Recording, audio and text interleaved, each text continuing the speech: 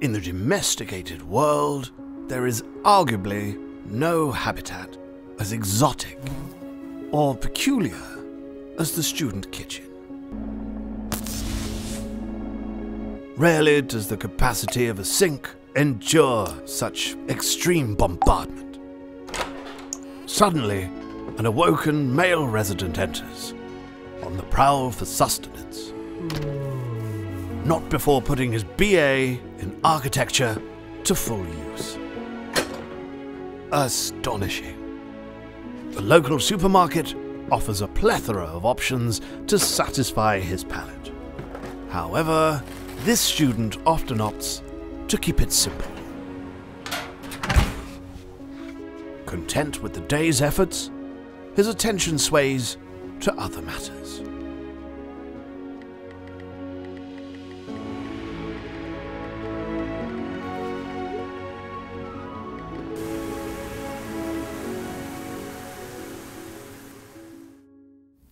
Scorched, charred, obliterated.